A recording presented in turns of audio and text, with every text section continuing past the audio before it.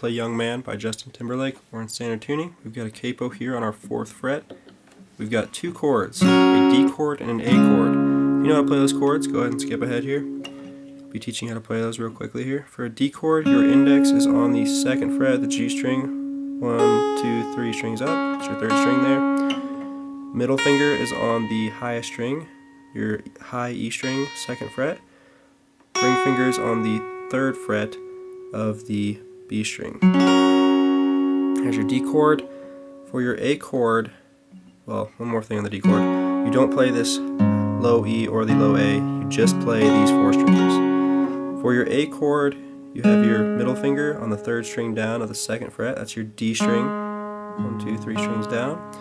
Your ring finger gets tucked right under that one on the second fret of the G string, and your pinky gets tucked under your ring finger on the second fret of the B. So all those fingers are sandwiched in there on the second fret. And you play all the strings except for this low E.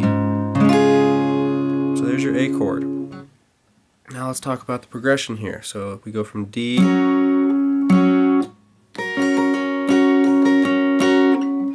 the A. So most of the time we're on the D chord here, and we'll talk about the strumming here in a second.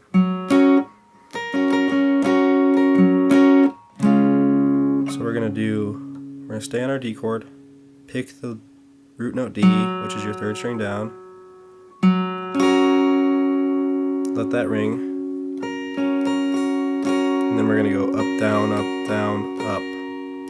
So pick the root note, strum down, up, down, up, down, up, and then we're going to go down, down, switch to our A, and let that ring. So most of the work there, like I said, is done on this D chord. So pick the root note, strum down, up, down, up, down, down, down, down, A. And then if you want to get fancy, you can do a little up, down, up on the A.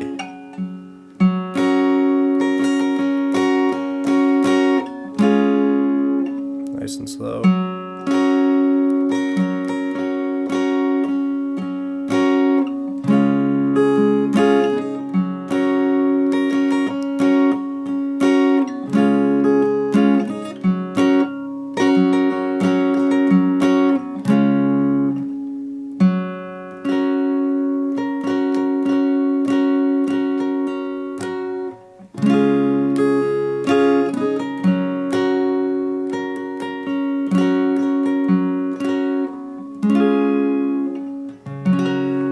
That's all there is to it. So it's just those two chords and you're staying on that D chord for most of the time. You really just sit on that A chord for a brief period of time there. So that's going to be it for this tutorial. If you have questions, please comment below.